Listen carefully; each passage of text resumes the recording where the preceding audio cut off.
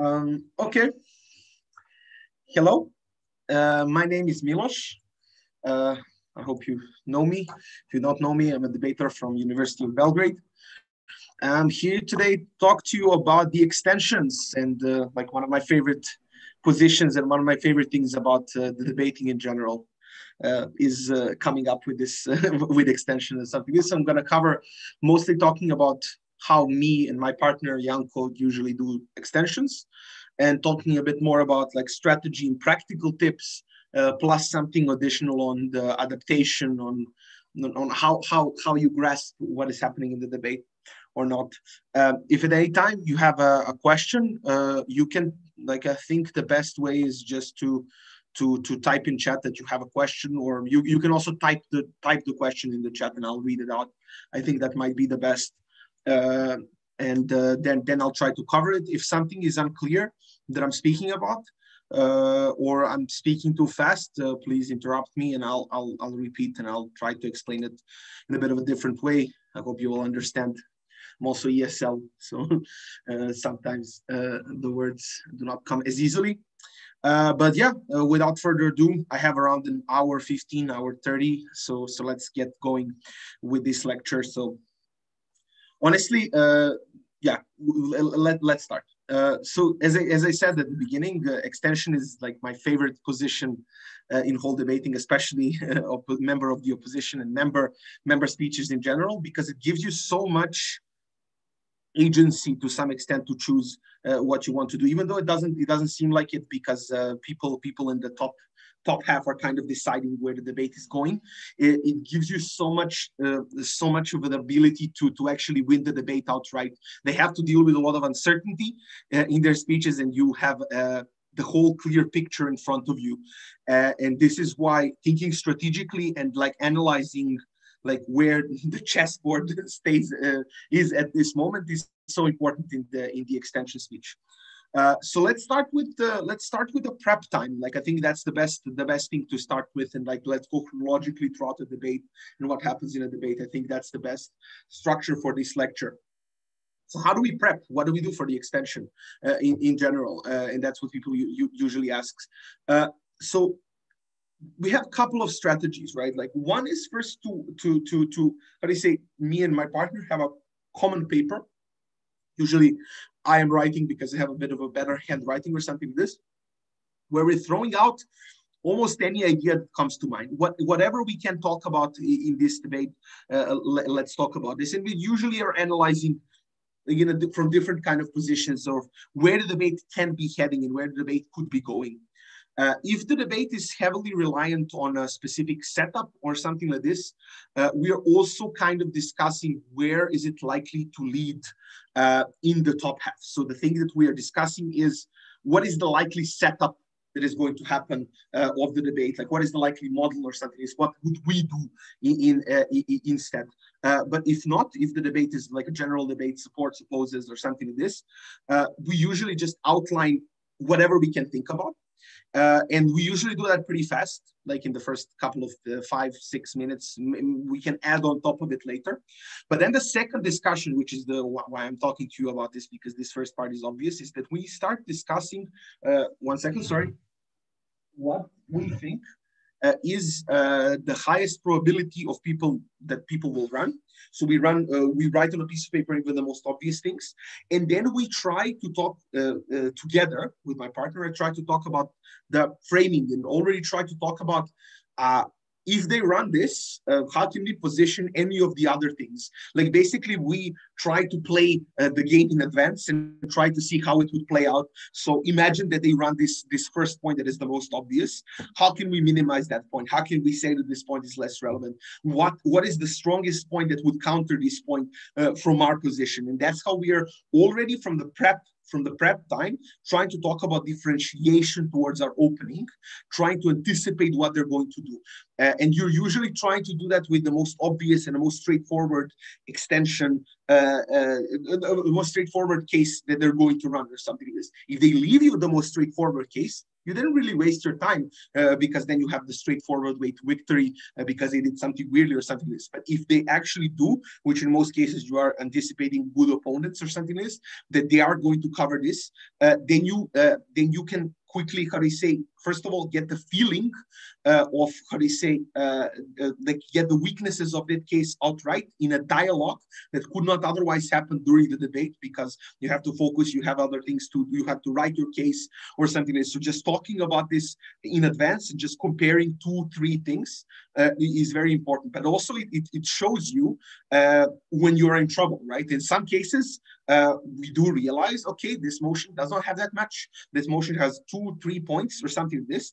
Uh, the next, and and and then uh, this gives us a second thing that we can do. If we cannot think of many things uh, that can win us the debate, right? And this is the first, the first purpose is like as many things uh, as we can. If we can, and usually, like just for the frame of reference, usually we think of like let's say five, six, seven things or something like this that could be run. Obviously, not all being the strongest one. We just throw the ideas and we will think about the strength of the idea a bit later, as, as I told you in the comparison towards the strongest idea on that list. Uh, but if, if we realize there is two or three, the next step that we're doing is fuck this, uh, let's go in depth on these three. Can we somehow break down? Is this kind of a point, like, is this some sort of a larger point um, uh, or, or, something like this? Like, like this will bring, uh, how do you say, more, uh, how do you say, less polarization, or the, like this point will bring less, how do you say, more economical benefits or something like this? Can we focus this somehow? And that's what we're talk, talking in prep. And then we're trying to already talk about the crucial levels and layers of analysis that an argument can have. Why are we doing this? Uh, in particular, because that uh, uh, gets us that even if the team in front of us uh, gets the, the most obvious point, like as I said, uh, let's say that they want to prove this something will, will ruin the economy or something like this, given that uh, any of these usually broader, larger points can be broken down into like smaller points that you can then better analyze and that you can then focus on, uh, that can lead you to discovering the analytical extension during prep time as well, or something this. And it all has to deal with uh, you realizing where you're going to have troubles. Like, is it uh, is this is this thing deep enough? So then we talk about the then, then let's talk about how do we position and frame our case versus the others, and that's the 15 minutes of the prep time. Or is this uh, is this um, more is this more, more going to be one on maybe one or two main clashes? So let's think what is the best contribution towards this clash. What is the most important thing that one needs to prove? And then already with with with, with my partner, I can start talking about how to like like like like uh, basically pick apart and talk about aha, if they analyze this particular first part how can we diminish their contribution?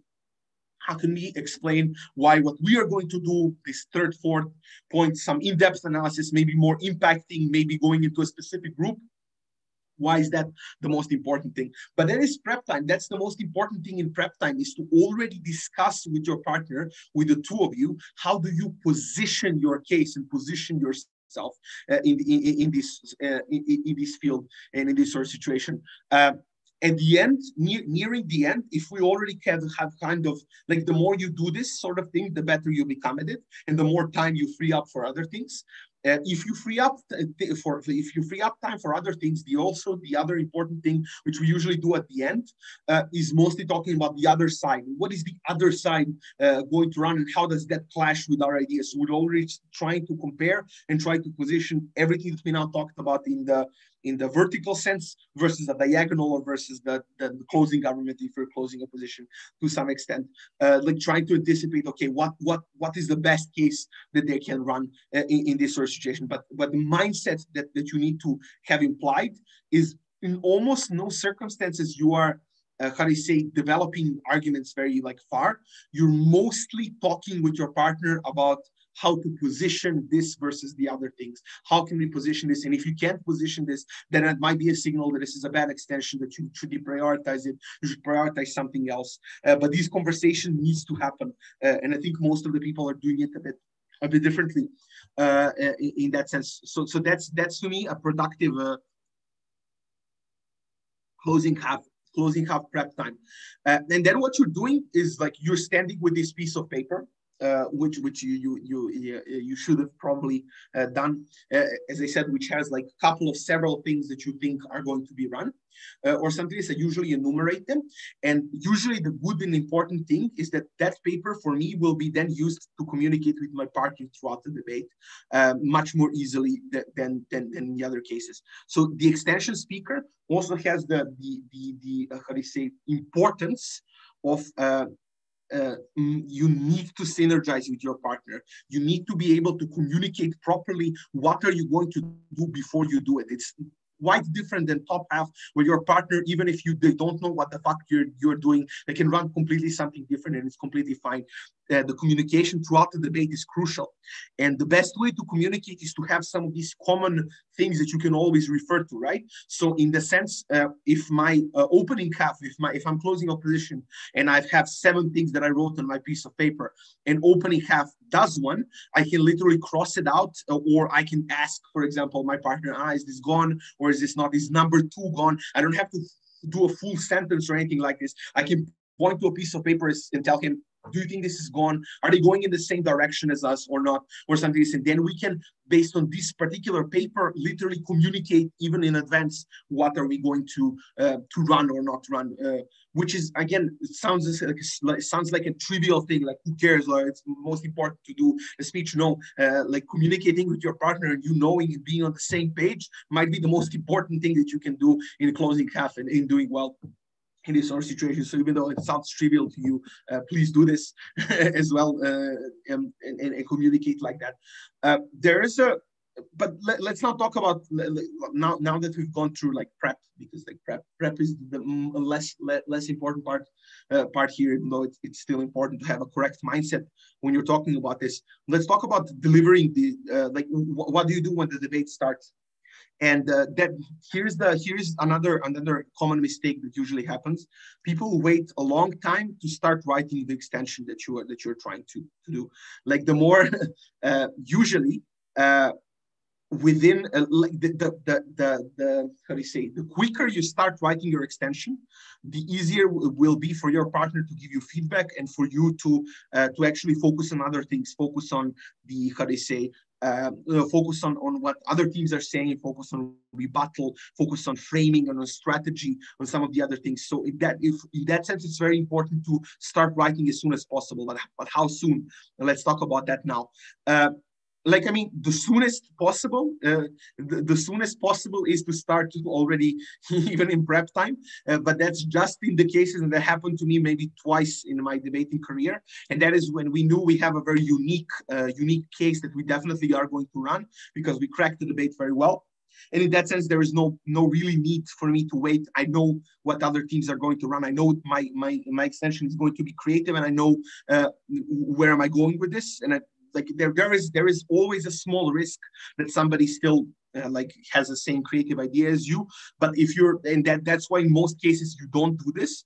But i don't know like this happened to us when we had a debate in uh, in it was oxford iv uh, it was oxford iv quarterfinals. The debate was about uh, the debate was about uh, as a young talented young individual who wants to change like uh, the country you would you join the ruling party or would you uh, fight outside the, the system or something like this? And the framing that we've come up with in prep is that how do you say by joining the ruling party the ruling party will corrupt you and you will become a bad person inside of it. And we thought it was fairly unique and that people are not going to talk about in that uh, talk about it in that sense. So i already i had almost almost written extension halfway through the prep and throughout the, the prime minister's speech, I, I, I, had a full ability to concentrate on what other people were saying and filling out the other things. So the best case scenario, you start immediately. Very rarely happening. This is just the extreme that I'm mentioning. When when do I usually start? Uh, so I usually start halfway through uh, my uh, halfway through uh, the speaker that is uh, the first speaker of the side that I'm on, so leader of the opposition if I'm uh, closing opposition or prime minister if I'm if I'm closing government. That does sound early to you, right? And there are some uh, consequences that can go with that. Uh, but bear with me. Let me let me let me explain to you why. So, uh, as I said, uh, usually uh, you will get the feeling approximately of what teams will do in the first couple of minutes of their speeches. Like, like at least you will know the way that they're thinking about stuff, and that's you. Yeah, and, and that's where you should take some bold, bold risks, right? If you know that if you have seven things on your piece of paper and you see them going in a, some direction, right? You obviously in some of these uh, extensions, you will probably have another direction that you can take the debate with. Uh, I usually pick first like these safer points, which I feel they're unlikely to touch uh, in this sort of situation. If I still feel that there's some points that they might touch, I might push it off for later, but just feel my second extension, my second argument in extension or third argument in extension much earlier. Why am I doing this? Uh, firstly, uh, for, like, like I mean, obviously, obviously, you still have to listen to what they're saying. Uh, so there's like a, you need to kind of practice to write at the same time as listening and as noting down something. So my setup is usually like, uh, let me let me just finish the time and then I'll talk to you about the setup. So what I usually do, uh, so so, so there is there is huge benefits to this, right?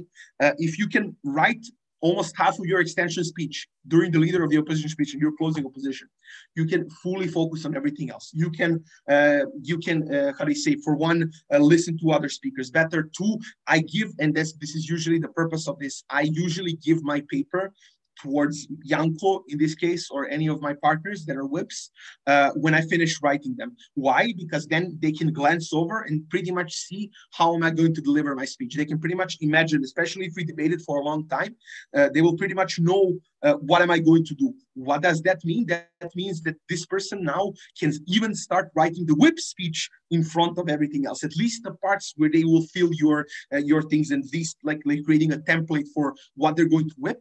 And secondly, they can also start thinking of positioning your case versus the other cases because they approximately know how are you going to run the things that you're running, right? So it's very important to have that as early as possible because everything then your thinking starts to be uh, uh, focused on comparing what you already have with anything. That that's where usually pe- uh, people uh, where, where, the most growth in like weighing and comparison can happen. Usually it doesn't happen because you're focused on other things. And the way to uh, free your mind to be not be focused on other things is to finish uh, what you need to write much sooner than you do.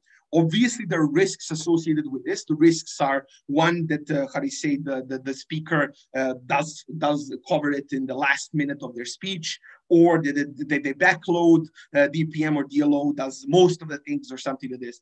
Uh, first of all, that's that's kind of an overstated fear in terms of that it doesn't happen that often. If you're really scared, it should be mostly on the individual basis. If you know the speakers, you know the second speaker is much better, or you know their style that they're doing something like this. But even in so case that this is a risk, this is not a risk that is like a huge, right? Uh, in, in the absence of this, you would be just sitting there and listening to a speech. You would not be doing much anyway. So in a sense, uh, you are potentially saving time. And let's say that there's 50%, you, you, anticipate there's 50% chance that they run this in the second speech or something like this.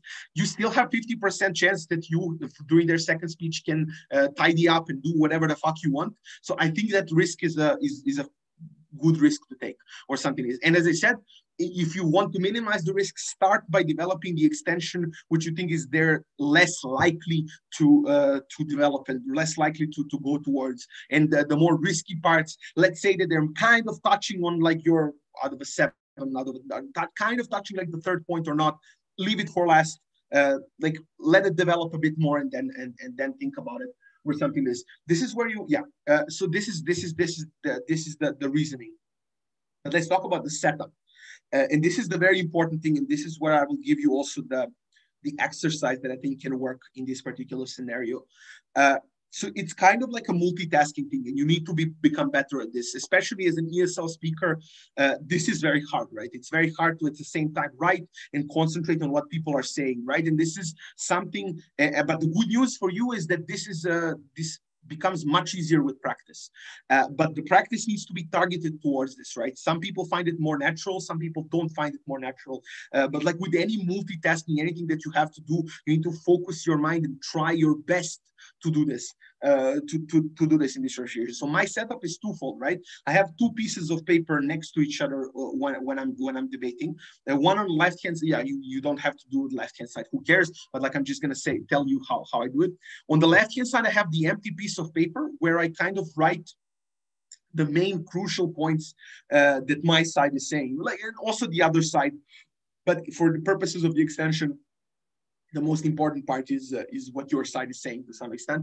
So so what I write uh, what I write down is not necessarily the full argumentation, but once I hear the reasoning, for example, they say, aha, they have three reasons for something. I'll note that down fast, and then I'll return my to my extension. So I have the piece of paper where I can pretty much note down the bare bones logic that they're talking about. And you will notice this majority of the speakers, um, you can uh, how do you say, condense their speeches and their, their the main points of their argument into four or five uh, main main words and sentences that you can write on a piece of paper. Even though they're talking about it for like two minutes, uh, usually that's like filling time, um, and you you will notice this is, is, is the more that you that you're going. Like they, they're trying to make it pretty, but on the bare bones, you what you want on that piece of paper is very bare bones logic. What do they claim? Uh, where is this claim based on? One, two, three okay uh, this is very important because for if if if you need to do analytical extension or if you need to uh, differentiate yourself or if you need to use some different words because sometimes psychology is a, is a strategy when you're picking the extension not using the same words as your opening might uh, trigger a judge to not uh, think that your derivative or something is that's a very important thing. So at the same time i have the left paper i'm doing it and in any downtime that i have uh, I'm partially listening, obviously, and also writing what I what I need to what I, what need to do in this sort of situation. And I'm very, very, very focused, very focused on this. The exercise for this is is pretty much uh, just doing it uh, doing it on the more on the under more extreme circumstances. This is pretty much practicing tracking.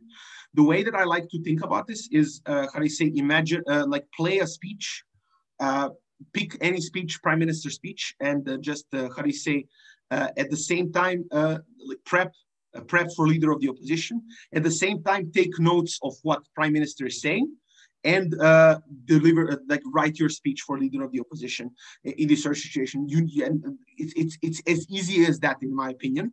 Uh, just just putting yourself in that situation yourself. The, the good thing about this exercise is pretty much that you can increase the difficulty however much you want. You can give yourself additional tasks. So at the beginning, you can give yourself tasks to just write your speech uh, during their speech, uh, during their speech or something like this, uh, or uh, that you, uh, um, next thing that can be that you also need to write rebuttal towards that speech whilst writing your full speech or something like this. So for example, you prep, but you don't do uh, you don't write anything on a piece of paper, and you start writing as soon as the prime minister hits the floor, and then you uh, then you practice like that. You're basically practicing um, multi multitasking to some extent. Uh, the important thing is also to check yourself. Uh, because in this tunnel visioning, you're probably going to at the beginning miss some comprehension, miss some things that prime minister is saying.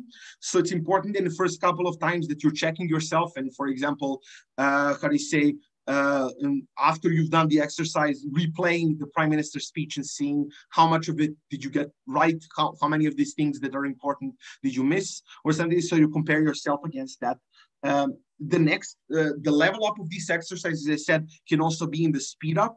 So I think you can you can literally play the prime minister's speech in the higher speed, like one 1.25 or 1.5, and uh, do the same thing that I said, write your speech uh, in parallel or something like this. Uh, this is all the things that, that, that makes you make you become better. If you ever listened to audiobooks or something like this and you start to become annoyed by how slow it is. Uh, like i like I, I now cannot listen. Like if i listen to audiobooks i mostly listen to them. Like i'm not i'm not a maniac. I don't listen to two times uh, the speed but i listen to like 1.5 or something like this. But when i return to 1.0 or something like this it's so slow. I can track everything. It's like the time slowed for me or something so just like this uh, if you ever experience this this is pretty much similar uh, inside of the debate, right? Like, like I learned a lot uh, from uh, trying my best to concentrate on people who speak very fast and uh, being able to understand them at the same time, right? So just by writing and training your brain in that way, you should become much better. And it's uh, one of the fundamental skills as an extension speaker because multitasking writing at the same time as listening to everything that they're saying, everything that is happening, and trying to comprehend everything that is happening, knowing when to stop writing, knowing when is it time to, to maybe write a bit more here, when is it time to communicate with your partner. It's a fundamental skill of extension that, that people underrate. People don't realize how important it is, but it's actually one of the most important things. that you can do. Uh, so so that's that's the thing. Um, okay, question. Mm.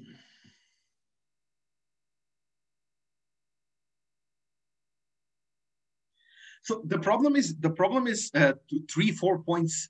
Uh, usually there is a there like so the question the question pretty much is for people who cannot see it is what if, what if, what in the situation that your opening has three to four points and you have only one extension uh, how you sh- how should you compare the extension towards everything else it's a i think there's a simple answer a simple answer to this if you have one extension uh, it better be a winning extension to some extent. If you have one extension, uh, then your burden is very clear. You need to prove that what you're saying is the most important thing uh, in the world, right? The most important thing to, for for a for a speaker for for a judge to think about, right? Uh, which kind of uh, like comparing one thing to to one thing to one thing uh, is kind of how do you say uh, contribution wise uh, contribution wise if, if, if you're doing uh, if you're doing one extension contribution wise the strategy is the same as comparing one to one versus one to 50 or something this, uh, because the strategy of having one extension is this is the most important thing uh, in the round that we can deliver. Nothing else matters, Metallica, uh, and uh, how do you say? Uh, like, like, everything, everything else is unimportant. That that that, that will be my strategy. Uh, then you you better you you you, pretty much has to have to have a framing uh, that would explain like it's, it's a bit of a hypothetical. It's very hard uh, to, to, to grasp in that situation. But uh, you need to have a how do you say uh, you need to have a good framing of why is the thing the most important thing in the world. And that's why you decide to have one extension or or, or, or, or something like this. The other answer to the question usually when people have three to four points uh, they under deliver most of them. Like they have one or two maximum very well developed points, and they have third or fourth point, which is like maybe two three seconds. The way to compare against that is to talk about like they clearly to, to pretty much you can call them out. Like you can use what what uh, what the other teams from the other side said about them and say this is pretty much underdeveloped. I don't know what like like most teams uh, can't deliver that many things very well. So in that sense, uh, it's again kind of like comparing like, like the, the ultimate comparison will come down to one versus one or one versus maximum two or something like this. So so yeah i know. It, it's it's a bit of a theoretical question so i can't like like it's it's not it's not really uh, about the, the specific thing but I, I hope this this kind of answers it. Um but but that's the that's the thing that you need to that you need to talk about talk about with your partner as well during prep time uh, why is this like every point uh, that you talk about in prep should be the debate winning point to some extent, right? Can we? Uh, the first thing is, can we win just by running this? Can we prove that this is the most important thing in the round? And everything else that comes afterwards uh, is just add addition, just like uh, like uh, hedging our bets. Maybe if they don't buy this point, we have two other points that we talk about. But I usually approach debate uh, like this in any case. Like a, you, you usually should approach the debate. Like I think it's kind of rookie to think about ah, I'm having three or four arguments or three or four points. Usually debate boils down to one major theme and one major point that you're trying to prove, and all of the other things are just like ah, let me burn. Like if I'm opening, let me burn some turf. Let me let, you say? Uh, let me. Uh, yeah, uh, but but but uh, but but in in a sense that's uh, that's uh, that that would be the answer. So where where was I? Uh, I was talking about uh, the, the, the the writing and, and all these things. So so let me talk about like something that, that again might sound boring to you, very important, very crucial, uh, and that is that um, your papers and the way that you're writing your extension needs to be readable to your partner. No matter like, like if you if the other world other world cannot see it maybe it's even better if if we ever return to in-person debating that that's a benefit. But uh, to to the extent that your partner needs to be able to be handed this paper and reasonably take away what are you going to run for this. Uh, the test for me is usually can my partner, with just reading this paper, not talking to me, come out with this paper and deliver the extension somewhat reasonable. It doesn't have to be like the way that I would envision it, but somewhat reasonably. Why is this important? And that's that's that's what I usually preach uh, preach to people uh, and people don't really listen. Uh, papers are not just for you. Papers are not just for, how do you say, uh, papers are very good and important, especially as an ESL speaker to remind you to have a specific words uh, to not stumble, uh, like, because like, like usually, usually that's the way that you usually waste time, but it's also a great way to communicate with your partner, especially in closing cap, where your partner needs to know what the hell is going on before you go into the stage. If the only time that your that your partner will know, uh, and, and usually people think it's enough ah, I'm going to tell my partner what's the tagline of my argument. So he knows what argument I'm going to run. No, your partner needs to know much more. Your partner needs to know what your mechanisms are. Your partner needs to know, are you, how are you impacting this? Your partner needs to know about your framing, right? Learn some of these things. First of all, because he can give you inputs, right? They can, they, this person can, can tell you, ah, I think you should add this mechanism. I think you should add this impact two people are better than one in this sort of situation, right? They can criticize your speech because like, it's it's much better that way. But second of all, they can prepare in advance anything that you want uh, that, that that is needed to win the debate, right? The the way to win the debate from the extension, you cannot ever think about just like the tagline, right? You have to think about the way that your partner has proven it. You have to think about the specific examples, the specific impacting that your partner has done. And if you only have, and if the first time that that you're hearing your speech. Uh, your partner is hearing the first time as the other teams in the room are hearing the speech. That's a problem. That's a risk. And that's why usually the whips are not as utilized as possible, right? Because then with knowing this, your partner can start thinking about how, where you would be attacked. Uh, if they know you very well, they will also know where, where you will fuck up, right? Like even if you write something on a piece of paper, uh, you don't deliver all, always uh, everything the way that you wanted it, right? So if your partner knows you really well, like you know like ah, i know this part my partner is going to fuck up. Let me write that down immediately and let me know in advance that i need to fill this gap or something. They, they can be prepared and ready for this thing. Papers are way, way to communicate during the debate where you can't really retell the full speech to your partner because that would take you seven minutes but they can glance at the paper in like 30 seconds read everything and be like okay i'm, I'm on board. I know what, what, what we're running. Or they can say no uh, please change this or something this. Um, so let me let me read the question. What would you advise for online tournaments? I tried to write my partner's extensions whip speaker, but I couldn't polish his speech. Uh, here's what I do. Like I'm usually extension speaker, but I spoke a couple of tournaments with the uh, with uh, with uh, with people who do extensions, so I had to whip. My strategy is always to write in parallel with them, and not to write them a speech, but to write like the skeleton of the argument, like like not, not to feel feel all of these things, and the same way give them this paper to write. Usually, the the most like that's why I hate like in online setting, uh, the most important thing, in my opinion, if if at all possible, is to be in the same room with your partner for me at least it's super difficult to do anything else.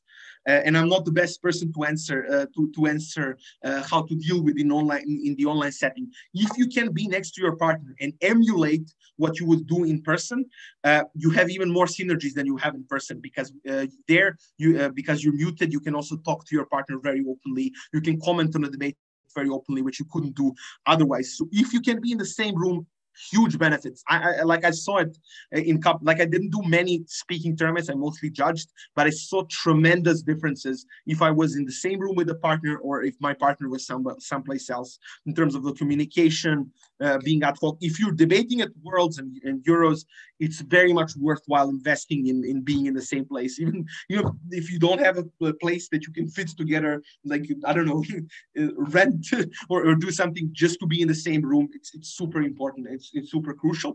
Otherwise, my my solution potentially is to do the same thing just virtually, which is to take a picture, scan, uh, or, or do something of your paper, uh, but just make it a bit. Then you need to make it a bit more readable than you would do otherwise. Uh, in a sense, I still honestly, I still prefer handwriting to anything else. Uh, it's much more like fluid. You can much more uh, like deal with the surface level of a paper than anything else. So it, it, it is hard. I don't have the I don't have the full answer to your question. I'm so I'm sorry. I hope I hope some of these things help, but please just just try and be in the same room. You will see a lot of improvement. Uh, a lot of improvement just from that. Uh, one more uh, one and one more thing about like the okay. So so I've talked to you about the importance of this, but what does this what does this mean? What am I talking about? First of all, you cannot write more, and, and this, by the way, uh, my when my coach did this to me and, and, told me that I need to change my shit and change the way that I'm writing, uh, like I didn't understand it. Uh, I didn't want to do it, but uh, he pushed us. We changed the way that we're writing. I improved tremendously. Like I'm now an infomercial. I know I sound like a commercial, but I'm doing this because I know people don't listen to me when I talk about these things. Uh, why people don't listen to me when I talk about these things? Because it's much easier for you to continue doing what you have been doing this whole time, right? It's much harder to relearn some of the skills that you already think you have, which is to, to, to write on a piece of paper, right? But it's actually is super important and crucial skill. What is the important thing? First of all, a couple of maxims that you need to that you need to follow. One paper one uh, one paper per per per argument at minimum. Never bundle things together. Like even if you don't have uh, things to populate the full paper fuck it leave the space open or something like this. Just don't cram things. I see so many people uh, doing like like one uh, how do you say one two three four five in one one place. The problem with this is that uh, i know I know i know what you're thinking is like ah it works for me because i i can do a lot of things from my head. I improvise very well. Uh, the problem with this is one esl speakers inherently struggle with this uh, because uh, inherently struggle with this because uh, how do you say uh, thinking on the spot anything that distracts you at that time uh, you will fuck up. And something uh, sometimes you can do the same strategy you've been doing with the fully written paper. You can let yourself go and go with the flow or something like this but just have something that will if if need be remind you of where you where you ended and what you need to where you need to continue uh, secondly, like, and that's minimum, right? Sometimes I write two two pages per one argument uh, or something like this, but like never mix two things together because it will be much different, much more difficult for people to read. It will be much more difficult for for you to read and for you to organize the way that you're talking about, and that's the important part. I'm not going to go much more in depth than this. This is the, the because all of the other things would require me to show you some of the papers that I do, but like obviously larger larger uh, how do you say writing uh, writing with like the the how do you say uh, how do you how do you call it like tight letters rather than uh, the the I don't know how to call it in English even. uh, so so so so so it is important you can figure out your style with your partner. Important test if if you if you're not sure if you, if you are not sure, just talk uh, talk with your partner uh, talk with your partner uh, about like give them a piece of paper and see how much they understand and then uh, give uh, give upon that feedback. Uh, like work up on that feedback. That that is the best way to do it. Uh, again it might sound trivial very important. What is the question? The question is is there an optimal ratio of rebuttal in the extension speech towards the opening team or should this be mostly given to the whip speaker? Depends. Uh, like it, there is no clear answer to most of these these things. That's why i'm avoiding it uh, you can you can't not have any rebuttal, especially if uh, like very much depends whether this thing is detrimental to your case or not. Usually, my preferred style of rebuttal is to not have 10 points of rebuttal or something like this, but to actually focus on two or three fundamental points from their side and take it down in a different way. Also, what I usually like to do is think uh, when, when I'm seeing uh, opening half and closing government, for example, if I'm closing opposition, what I like to think is uh, everyone has their own different rebuttal style. And if you know your partner well, you know kind of how they're going to rebut a certain point, right? If you think uh, you have a unique contribution uh, that is that is that, that is like like you know how they're going to rebut this? Uh, you have your unique style of how you think this should be taken down then you should take this. Uh, this is my test. This is my test. I know how Janko responds to certain things. I know what he will prioritize. So in the sense i'm uh, while anticipating that and while thinking about how my partner is debating i'm also trying to anticipate aha that's why i specifically am going to uh, do two or three of these particular points that i think are super important or whatever. So, uh, but there, there is no, you should not do more than three minutes ever. That's the, like, that can be a max, maxim. Uh, the only reason why you would go for more than three minutes that I can think of is if you absolutely have no extension and your strategy is just to destroy the other side and uh, be like a rebuttal extension shooting for the second uh, with no like pretty much no no no material that is going to be labeled as extension it's a very rare case. Never shoot above three minutes. Usually my speech in the extension is divided into i mean three parts one is the first time is the setup, contextualization, and framing. This is the most important part usually of my speech, which is like two pieces of framing of where this debate, what this debate was missing, what this debate uh, was not about, uh, or what, what it is about. Then going to a bit of rebuttal, and then afterwards going into my speech. And usually that ends up around, I start to give my extension around 230 uh, maybe three if, if I really don't uh, don't how do you say um, if I really uh, really had a lot of usually not because of rebuttal but usually because I had a lot of setup usually I had a lot of contextualization that I need to get out of the way first. Uh, but that, that brings me good into the structure a bit now because we've covered some of these practical things of how do you come up with things and what, what, what happens. Now let's talk about some of these, uh, how do you say, important skills as an extension speaker as well which is so you have a debate that happened in front of you uh, and you're making a call right in that case. You're making a call what is the best strategic like basically like any strategy game? What is the best strategic move for me to make? Or something like this. Uh, and there's a couple of things and a couple of uh, mistakes that people that people are making. One uh, is uh, tunnel visioning, like not willing to let go of some of some ideas, and that's the adaptation part that, that I'm talking about. Sometimes uh, something happens very late, maybe close, like especially if closing government is a very good team, it completely changes the game entirely. And that's a very scary situation. What I usually people see people do is stick with what they intended to run, even though it doesn't make any sense anymore because the debate completely changed uh, after after they've done a specific framing or after something like this happens. So first of all, you need to be able to track and notice these things, uh, but second of all, you need to be you need to be fine with letting go of your idea. Even if you wrote it down on a piece of paper you need to be fine with being like yeah okay this is burned. Okay this is doesn't this does not matter anymore. This this debate has shifted towards something else or something else. So this is like a more of a psychological thing.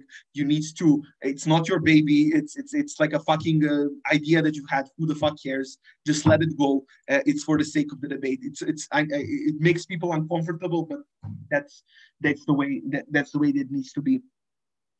Uh, but the adaptation also needs to happen in terms of uh, how do you say uh, usually needs to happen if people uh, have mostly covered what you wanted to say and what you wanted to do uh, especially in the top half or uh, they have done something unpredictable. So now uh, the things that you even have as an extension are not really as relevant or, or not uh, so, so here is the here is a couple of mental things uh, exercises that I that I like to do uh, to, to to help me uh, to help me get through this. And I, I, do this very automatically. I don't I don't really think about it that way. But recently I was able to sum it up of, of what I do, and usually call it like zoom in, zoom out principle. Uh, so it's it has a flashy name now as well. Usually people tend to, tend to look at the debate very uh, how do you say two-dimensionally, which means that uh, the debate about legalizing drugs is debate about legalizing drugs. Debate about the, the politics is debate about politics or something like this. Uh, uh, debate about specific thing that is that the motion said about feminist movement is debate about purely this, not necessarily having any connection towards the other things. And sometimes that is correct, sometimes that is not correct, but too many cases, you miss a crucial extension by not being able to do this strategy, which is to zoom in and zoom out. Let me talk about let me talk about the, the two now. So zoom out is uh, uh, let, let, me talk about zoom in because because it's a bit of an easier concept and people get it a bit bit better. Zoom in is being able to uh, inside of the inside of the, the mess and everything that is happening focus on a specific thing that is the most important that people have been talking a bit more generally about. Let's give, let me give you an example. So very recently in a debate about how do you say uh, in a debate about and, and that that's also by the way uh, the case for many feminist movement or many movement debates. Uh, zooming in zooming into a particular issue is, is the way to go. Uh, i think it was lse the motion was the motion was uh, political consumerism, uh, good or bad, support political consumerism, which is ah, you you consume based on the people boycotting companies because of their political views, or people buying co- from companies because of their political views. Most of the people were focusing on ah, more followers, less followers. That's so nice. Companies are good or bad, or something like this. Uh, but I have not really talked about like zooming in. Uh, how do you say? specific territories or specific countries or what changes these countries need right they were talking very uh, in, in that, that's like that happened in 99% of the rooms and that's why opposition won in 99% of the rooms because the argument that says uh, people see a commercial and then uh, they know about feminism and then that's good uh, usually wins if you don't have a very cool counter from government side uh, which lots of people didn't have. So what is the zoom in in this sort of situation? We pretty much zoomed in into uh, why it's kind of it's kind of not like, like nowadays it's kind of it's kind of uh, uh, taking both zoom in and zoom out but to some extent we zoomed in towards the issues of how do you say Serbia, Bulgaria, Turkey, uh, any any country, uh, any country that is not America, and talked about how these commercials are perceived in these kind of countries, and why these commercials and these how do you say not commercials, but like these kind of uh, political messaging sent by corporations is not something that benefits at all any of this versus and then in contrast towards a more general debate about them donating to Pride Parade in LA, uh, then like having a balloon there or something. This has zero impact on Serbian LGBT movement, uh, but actually has harm on Serbian LGBT movement because Serbian LGBT movement is associated with something that is like that, that is, a, or, or feminist movement is associated with a Gillette commercial or associated with, how do you say, uh, with uh, with some something like this. So usually people look at it very surface level. I use this example because usually people do it very. Uh, usually people do it in this way, which is like ah, developing world, developed world. Ah, there's many ways to zoom in and zoom out, uh, or zoom out in the particular subject in the particular debate. And usually the way uh, that you're then framing your case is just to talk about nothing, literally nothing else matters everything else is bullshit. Everything else is very like it has impact but it's not important right in, in a sense like obviously some some uh, lgbt uh, feminist movement getting like uh, lgbt pride parade in la getting money sponsorship from uh, from coca-cola is cool for them. We don't get it get it as, as, a negative side. We just think it's unimportant in contrast towards how to say this hampering the ability of the feminist or, or LGBT movement in uh, Serbia or in country or, or in countries that how to say actually require some structural change to uh, to combat uh, for their rights or something like this. So that's the way that that's the way to do it. Like it's pretty much focusing on a particular thing uh, on a particular thing. Usually people caricature this kind of in these, these days, which is the zoom in is purely, literally almost always going to be uh, into how does this affect minority communities or something this. It's not necessarily, again, the only zoom in that you can do. Zoom in, uh, again, can be geographical, can be talking about like, look, this might have an effect in the West. This might do something in the West. Who the fuck cares about the West? They have much less problems than most of the other world has. You can also call out people who are very much Western centric in their debating, which is most of debaters when they're talking about this. And it doesn't have to be, it doesn't really have to be, honestly, I'm giving you social justice examples, but this pretty pretty well goes with uh, with politics, with uh, economics, or something that's usually the maxims uh, the maxim that I have uh, uh, for for economical and political debates is whatever idea and, and that oh, it fits more for the opposition usually uh, because that's how the motions are phrased but this is like there's some idea how we need to conduct politics or what politicians need to do or something like this. The thing to think about is how would this be done in in my country? And obviously if you're not living in, in the west or something is how will this be done in serbia? How will this be done in turkey or something like this? And then so many arguments why this will be done horribly pops up and then so many problems pop up with that that gives you an extension or something like this. So just uh, um, having a bit of a different context and shifting the context basically zooming in from a from a like from a narrow-minded like generalized view is very important. Uh, even more importantly to some extent is zoom out which is being able to see how the policy that is being proposed affects more than again the, the thing that, that, you're talking about. I had a very like recent example of judging a debate. Uh, I think it was about sin cities.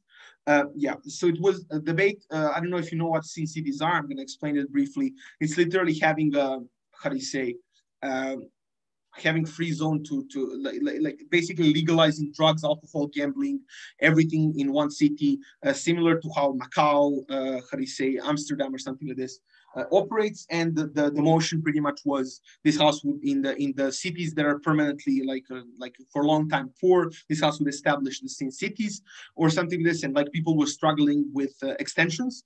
Uh, zoom out like and everybody was talking about these cities and how it will be in these cities and like like it's very uh, uh, like like in most debates like I've, I've seen this debate now three or four times being debated. Most cases, just going to be about the sin cities. Zoom out in this case is talk about a bit of a broader picture, right? Especially, let's talk about the example from the government case, right? Uh, let's talk about that even even uh, that you can do an even if case that even if the, the crime and everything is centralized around the one city or something like this that pretty much in, in moving towards one city that pretty much means that in other places crime will probably be down that pretty much means that the criminal activity will move and centralize into one particular place, like being drug drug capital or something like this. So it will centralize and help some other communities or something. So obviously, this is not a silver bullet argument. I'm not saying this is the best argument ever, but I'm telling you that zooming out a bit towards like a more global picture or, or what, what can it do for, for other layers that is not necessarily have to deal with just Sin Cities itself gives you an extension, right? And thinking about and trying to it's a very hard mentality to to to to adopt uh, because it's not really not really natural right? It's not really uh, something that we do. We see a topic and we immediately want to go around that topic uh, or something is but the approach needs to be you see a topic and you start to see what is the what, what is what is the bigger picture of where that topic fits in the world or something this? Similar what you can do is when you talk about like like political moves and what political parties are doing or something this can be tied towards uh, like if you zoom out this can be tied towards uh, how do you say the investment coming into the country how external people are will look at at your country if you if you if you do specific thing if you do specific policy in ir in politics or anything like this uh, will it increase their chances of investing or not investing or something like this?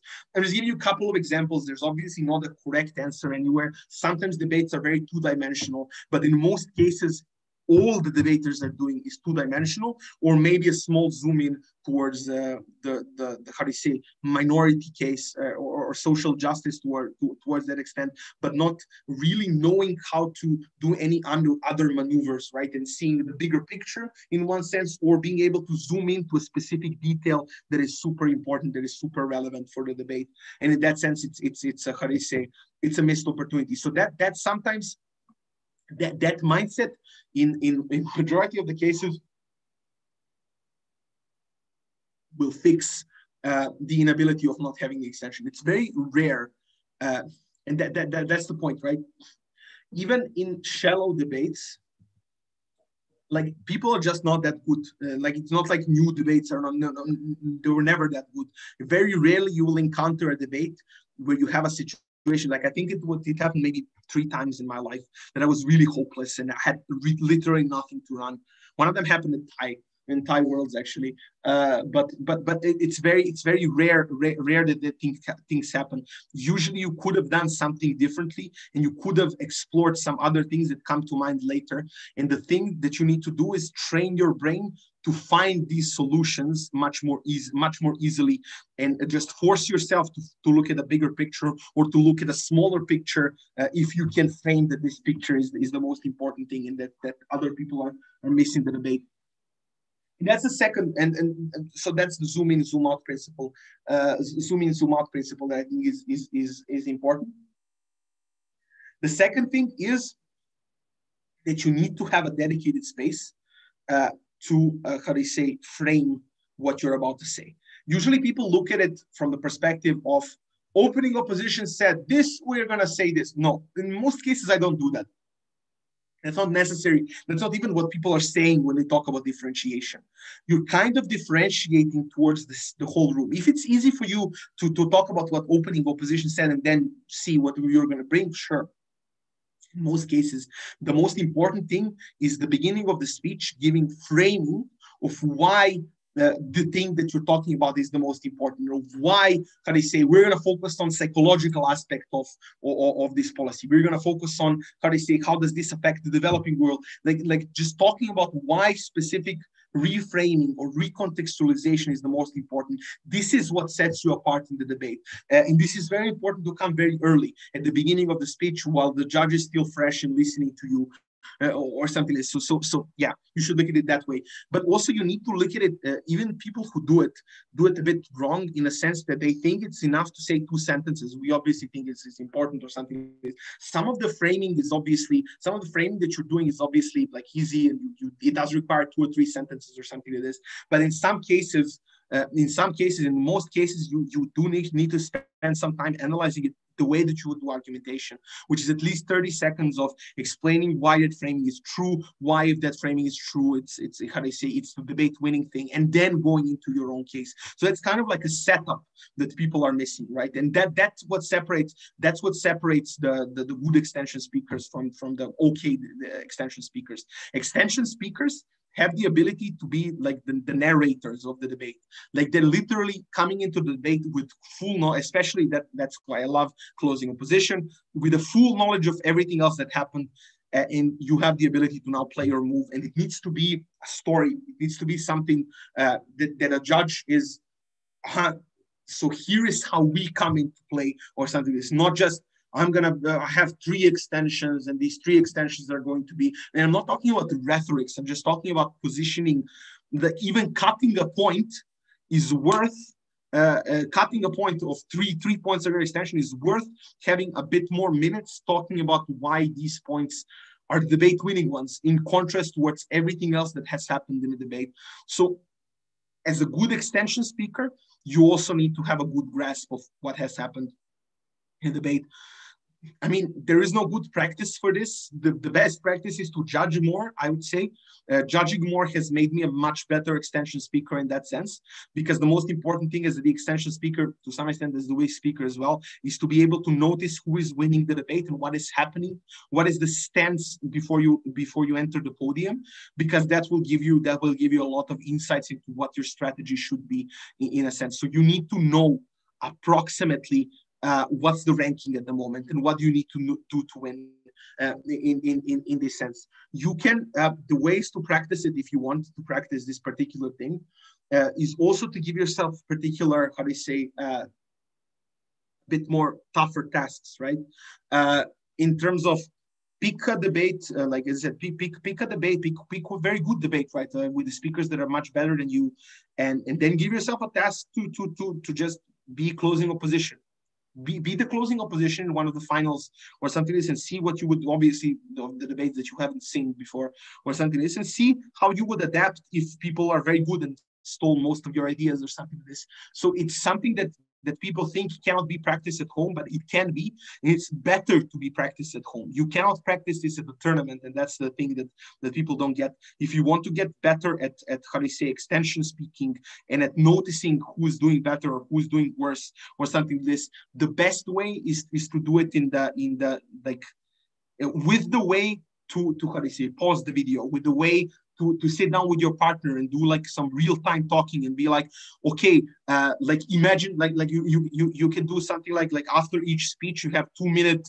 debrief with your partner where you talk about okay what has happened now? Who's winning now at this point? And you're talking about your opinions. What is the most important thing to rebut? What would you focus on? How does this change? So just trying to practice uh, and, and how do you say get yourself in the mindset uh, which is important and like, like learning how to think on the spot needs to first happen slowly needs to first happen uh, with you how do you say talking how do you say with your partner in a like a slower manner in a, in like a setting that is not we need to break uh, we need to get the two points or we are not on straights or and then we don't break and then blah blah blah.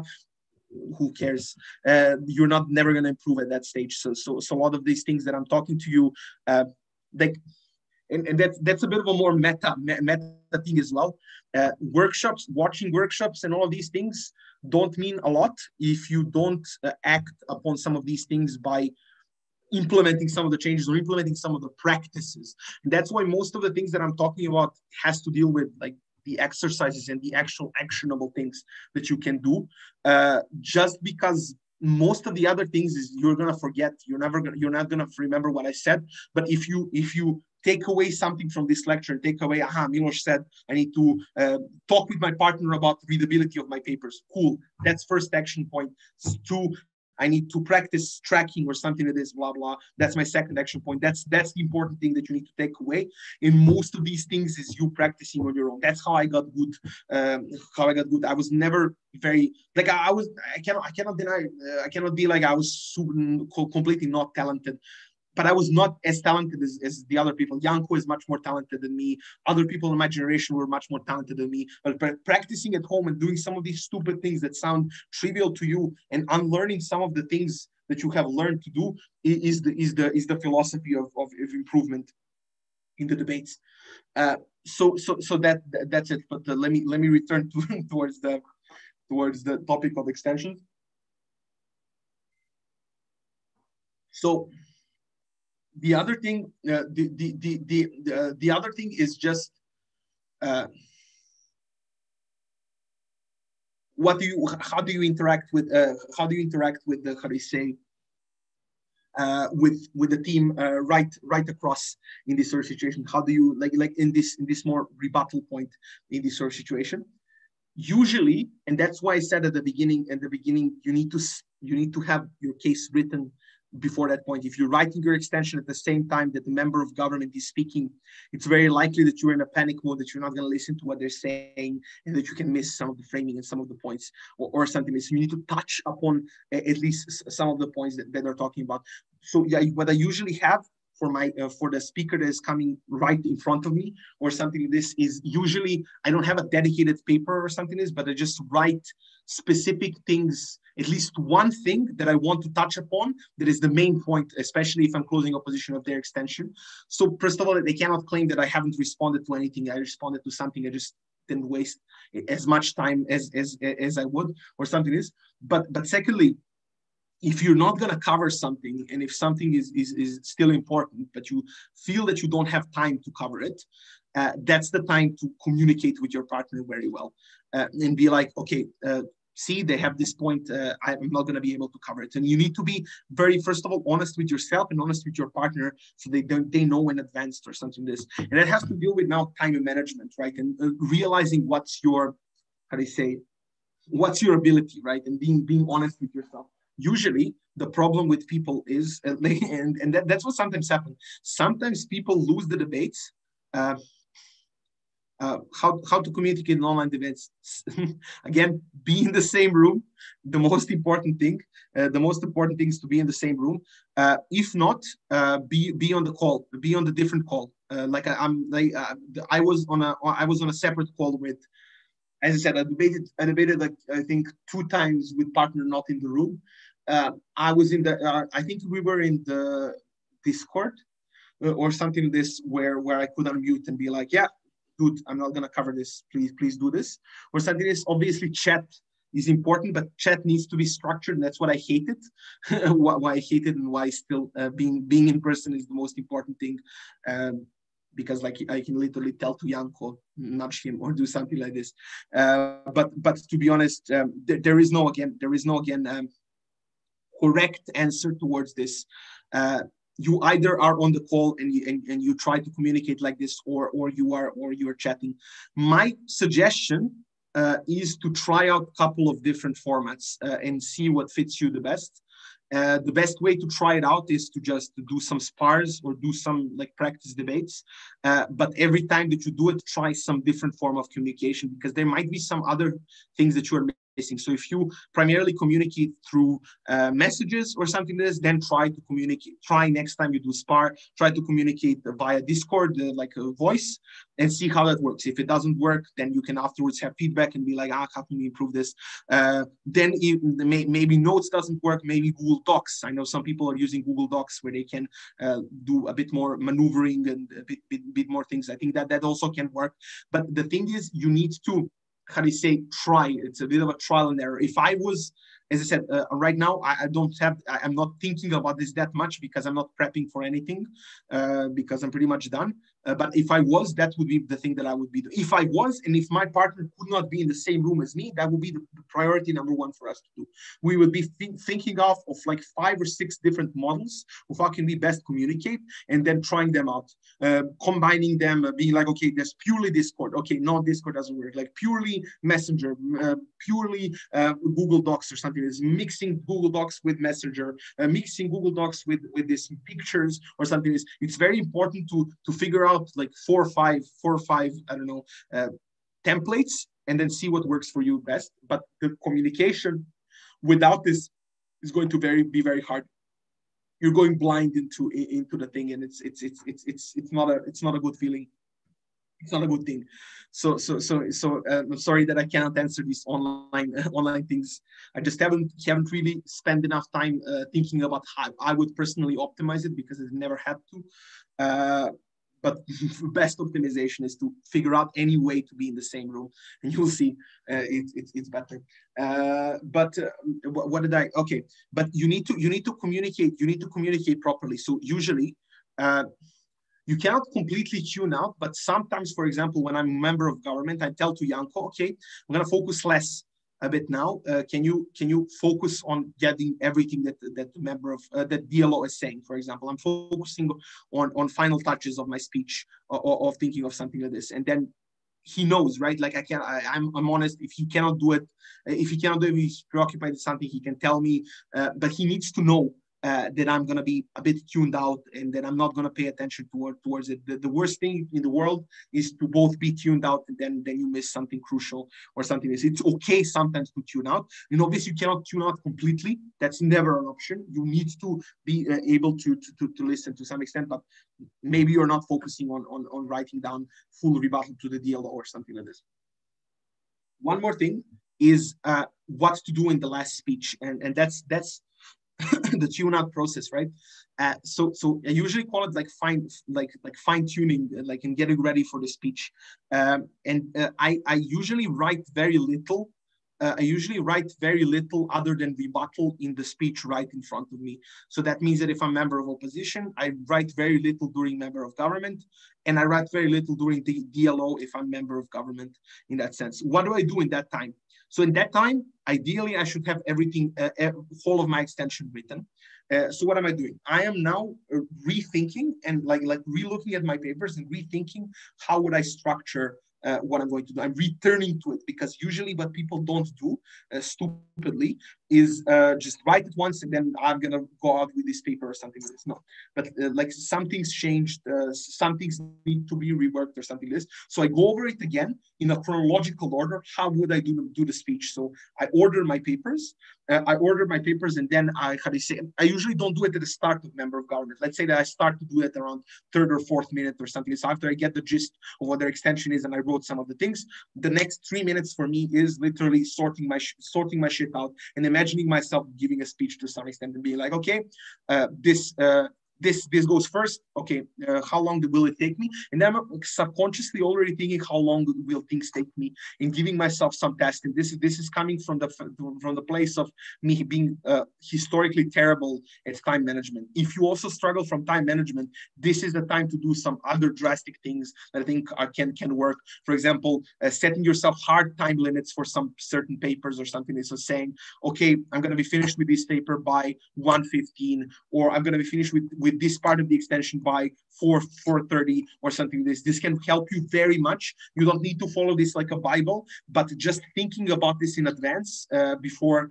before you how do you say give your speech is already a win. You're already going to do it better because you're a bit more self-conscious and you're a bit more thinking about this uh, than anything else. So i'm imagining my speech. I'm going through it and i'm also trying to see couple of things. One, does the title make sense? And that's something that I started to think about much, much later in my career. And I wished I thought about it a bit earlier because I thought it was bullshit. Who the fuck cares about the, the statement and the title of the argument? Like it's just important what my logic is. Uh, that that's not true, especially in the in the world where you obviously have bad judges. You obviously have people who do not listen to you. The official statement of the things that you that you need to do. Uh, and I'm thankfully going to do a lecture on this soon I think next week. Uh, uh, next week, so so you can you can listen to more of the advice on the structure and the statements and all these things. But the gist of it, uh, you need to be able to anticipate where the argument is going from the statement. If that's not true, then your statement sucks and you need to rework it at that time. And that's the time to you for you to return to it. When you know the full thing and when you know what is the whole thing that you want to want to or want to do uh, in your speech, it's the best time to try and rethink is this a good enough statement is this clear enough will the judge be able to follow uh, will the judge be able to imagine where i'm going if i say just this sentence uh, why is this important just briefly humans tend to, and that's a, a super cool ESL trick as well. Uh, humans, especially if they don't understand you, tend to fill in the gaps themselves, right? In order for them to be able to fill in the gaps, they need to know where you're going, which means that if they know very clearly where you're going, it's much more likely for them to fill in the gaps for you, even if they don't understand what the word, single word that you're saying. So if they're racist and they don't, don't uh, uh they, they are uh, ESL biased, they don't know uh, what you're talking about. If you're very clear at the beginning, it's much, much easier for them to infer some of the things. And that's how human psychology works in, in most cases. It's such a huge it's a huge thing. Uh, uh, it, it, it, it, can save you so many times uh, so many times just just sitting down and th- rethinking what you said at the beginning. Usually people write it at the beginning and then forget it. The best way is just to after you have everything written down to return to it and think about how can i improve this? How can i improve the clarity of this? That's a very important thing. Uh, second important thing is to think to just go through the logic and see is the paper become too messy? What has happened? Uh, do you need to add something? Do you have something to add? So that's the time to do some final touches, right? You maybe remember something additional that you want to write down or, or something like this. So that that's the final touches thing. Um, uh, and, and as I said, anticipate how much time will it take you. That, as I said, oftentimes timeline is I write my speech during LO, almost full of my speech is done. Maybe I, I tack, uh, like if I'm closing opposition, maybe I get a bit bit of DPM, and then I give it to my partner. My partner gives me feedback already around the DPM DLO time. And from that point onward, I'm pretty much doing the fine tuning of this. I can focus on other things. I can even ask a POI. Uh, I can do whatever the fuck I want. And the three minutes before I'm about to speak, uh, or four minutes, or however much you need, you think you need, uh, you completely focus on how they say, okay, I have a speech in my hand border uh, border uh, borderline uh, the speaker uh, before me throwing like a like a like a complete bomb in the debate and like completely changing what the fuck is happening. I'm pretty much going to deliver this speech. Nothing is pretty much going to change except for minor points. Let me do a rebuttal. Let me let me change something but it's it's too late at this time. If something dramatic happens at fifth minute of member of government speech uh, that that wins the debate, you you're pretty much fucked either way. Uh, if it's that dramatic, if it's not, then obviously you need to react fast. But at that time, it's your time to gather your thoughts and your time to to uh, how do you say go virtually and mentally through the speech and then fix some of the things that you would wouldn't in the rush wouldn't otherwise think about. Statement time management structure and how are you how are you handling the things? And that that's that's super important.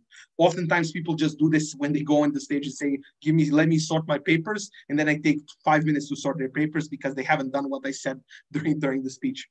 Uh, and then lastly for this for this lecture and, and that, that's it. Like afterwards you just deliver a speech. You just deliver a speech and you hope for the best pray for the best uh, and, and something like this. Like i mean i'm not going to cover poi strategy uh, POI strategies or something like this. Oftentimes, if you want to take the POI from your like like if you want to take the POI from your opening, it's good to take it to take it in the member speech because if they completely fuck you, uh, your whip speaker has the ability to to to to return to it and and de-answer it in a bit more depth. So I usually like to take opening from uh, from member if I can.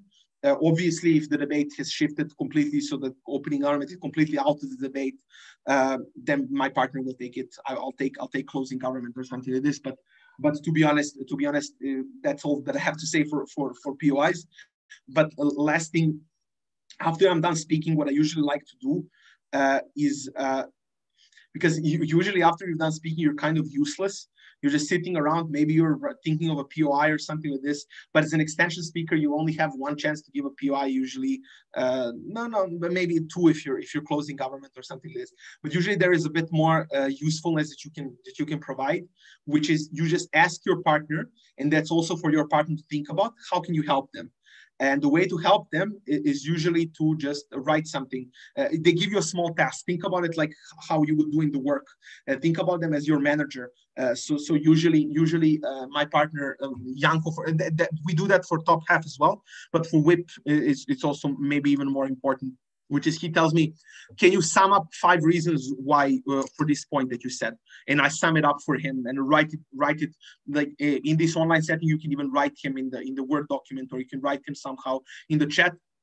Give me five reasons for that. Maybe you even think of a sixth or seventh reason while you're thinking about this, because now at this time your mind is completely free to, to tunnel vision on a single thing. You can obviously, there, there's nothing else for you to do except ask POI. And then uh, you can pretty much do ask, you, you can think about asking a POI and, and focusing on a specific task. That's why whip speakers should potentially also have a task ready. Obviously, if you if you if you can handle everything on your own, fine. But usually, delegating something and being like, okay, uh, Milos, can you uh, can you remember this thing from opening government? Can you figure out three responses towards it?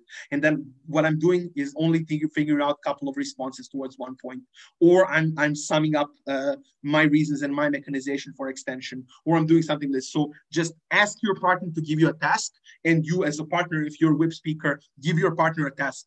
Just give something, delegate something, because what you also need to do, not have not haven't been covering whip speakers because it's extension workshop.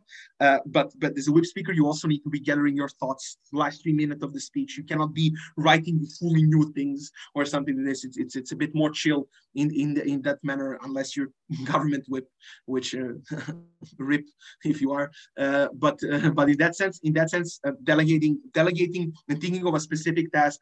Okay, uh, give me this give me that. Give me differentiation. You can also give it you can also tell uh, can you can you tell me why this argument is important more important than the other argument? Or can you tell me but be specific. Don't be give me why we win. Uh, that doesn't work.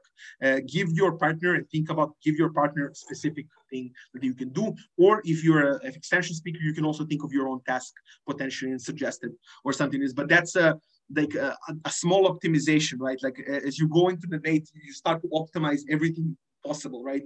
To be as efficient as possible. And this this has worked in the past. This has made us, in some cases, have five or six responses towards a single thing. It's not necessarily because, uh, uh, like obviously, Janko is a god, so, so he knows how to do seven, seven or six responses. But sometimes it's just how do you say, uh, he being able to, to to think of six or seven responses, just thinking about that while he's paneling on all of the other things.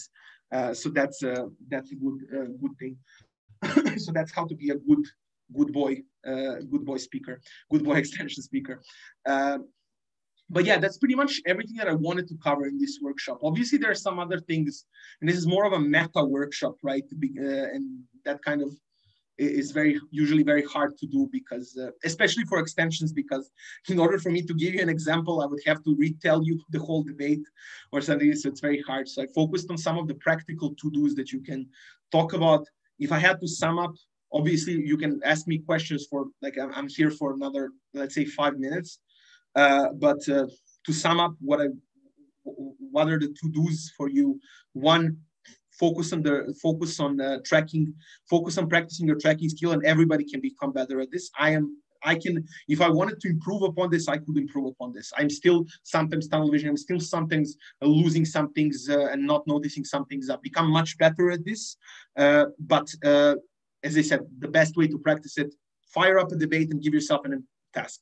Uh, don't write anything and write a speech while listening to some some good speaker speak or something like this and then that will be that will be uh, that will be your brain training. And just by continuously practicing this you will become better and increasing the difficulty as i said uh, having a having uh, increased speed or giving yourself additional tasks both ways like in the gym to increase the the the, the exercise difficulty.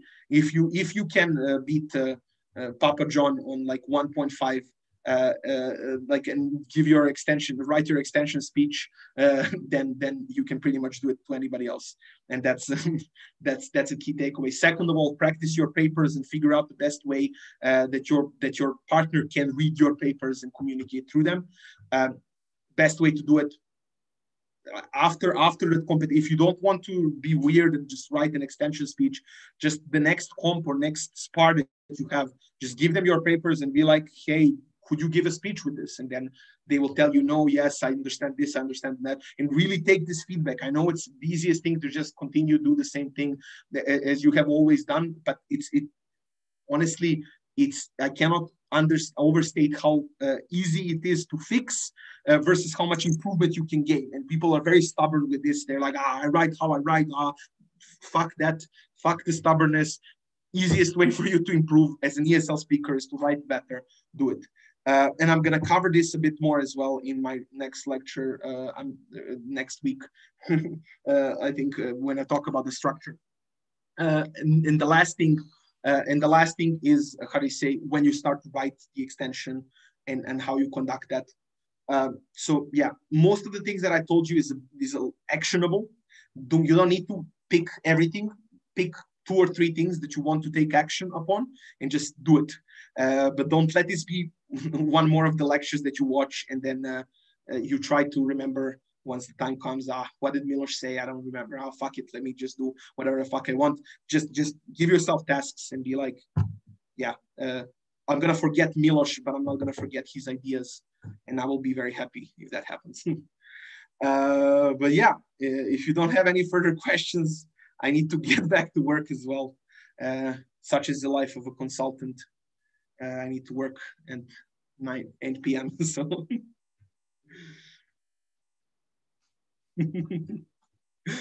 yeah, thank you. Okay. Okay, I think there isn't. Uh, sorry, sorry for interrupting. Sorry. If you have some questions that you want to shoot, you can also shoot them through the ORCOM and they can forward it to me and I'll try to answer or do something like this. But, but yeah, uh, thank you, thank you guys for listening. I hope this was helpful uh, and practical for you.